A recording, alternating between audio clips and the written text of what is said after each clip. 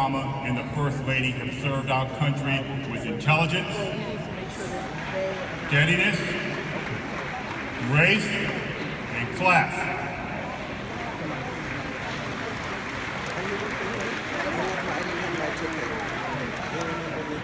The First Lady of the United States has set a new bar for that role in substance, impact, and style.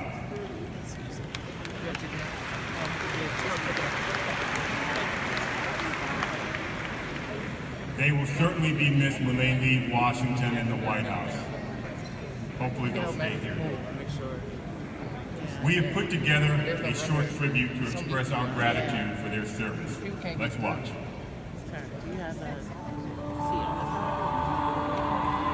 Eight years ago, on a warm night in Chicago, a black man earned the title of President of the United States for the very first time. Millions of Americans across the country. Young and old, black and white, rich and poor. Many who were casting a ballot for the very first time. We made history, and it was a long time coming. I have a dream. My poor little children one day live in a nation where they will not be judged by the color of their skin, but by the content of their character. We elected a man who would never forget where he came from, who knew exactly what he had to do to get this country back on track. And today, we're still building on that progress. Health insurance reform becomes law in the United States. Today I can announce that thanks to the law, 20 million more Americans now know the security of health insurance. Our high school graduation rate is at a record high. We slashed the African American dropout rate by almost 60%. Our business has created 15 million new jobs. We launched something we call My Brother's Keeper. We cut teen pregnancy in half. The overall crime rate and the overall incarceration rate has gone down by about 10%. There are actions within my legal authority that we can take to help reduce gun violence and save more lives. How do you say thank you for once in a generation change? By paying it forward. By making more history. That's what we do. And it's the very best way to pay tribute to a man who knows in his heart that perfecting our union is never finished. More than half of blacks say we're better off than our parents were at our age, and that our kids will be better off too. But there's always more work to do.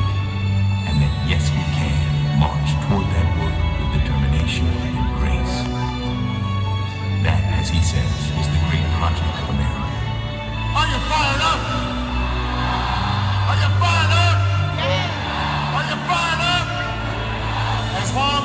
Of us are together, as long as we are all committed, then there's nothing we can't do. Thank you, Mr. President.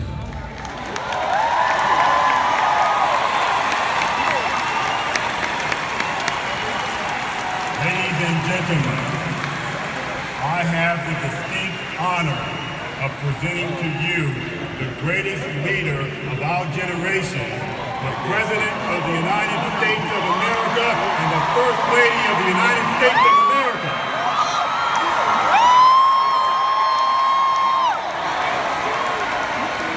Uh-huh, the criminal this way. Then no.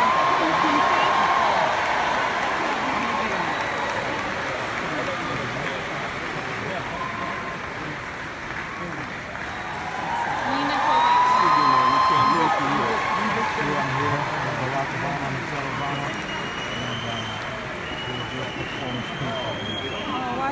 Hello. CBC!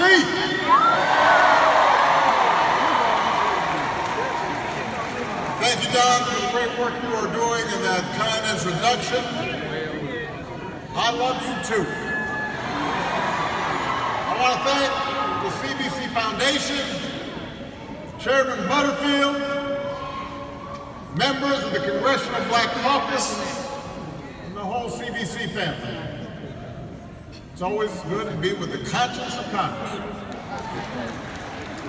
I also want to congratulate tonight's honorees, beginning with Charlie Rangel, a founding member of the CBC, an outstanding public servant, does the rope who, as we just talked about, will be comes to this riding off into the sunset So even though he's on that side now, Representative Marcia Fudge. down, he comes here.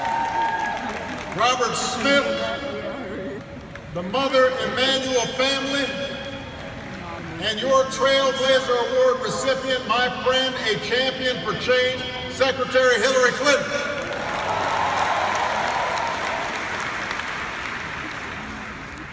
Uh, there's an extra spring in my step tonight. I don't know about you guys, but I am so relieved that the whole birther thing is over.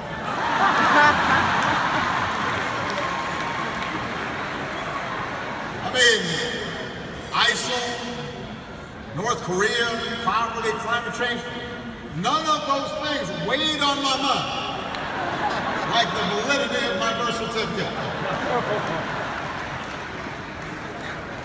And to think that with just 124 days to go, under the wire, we got that resolved. That, that's a boost for me in the home stretch. In other breaking news, the world is round, not flat.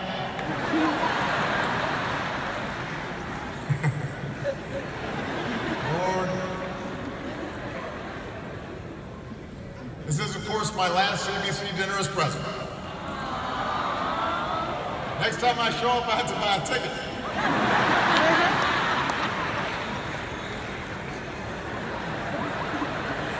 Now,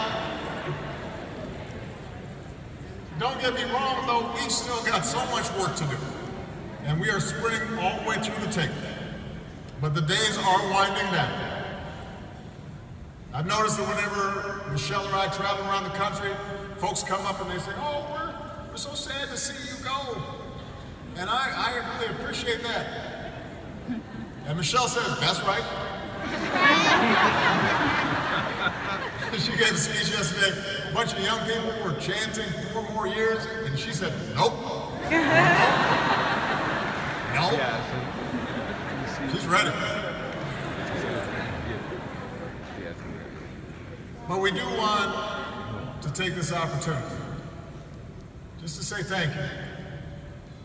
Say thank you for your support over the years. To say thank you for your friendship. To say thank you for your prayers. As I just look across this auditorium, there's so many people here who lifted us up, who steadied us when things got tough. When we began this journey, coming on 10 years now, Yesterday. we said this was not about us.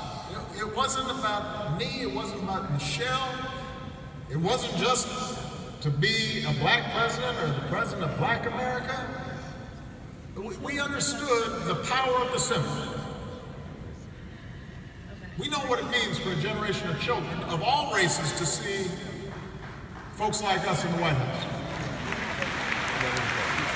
And as Michelle says, we've tried to be role models, not just for our own girls, but for all children, because we know they watch everything we do as adults.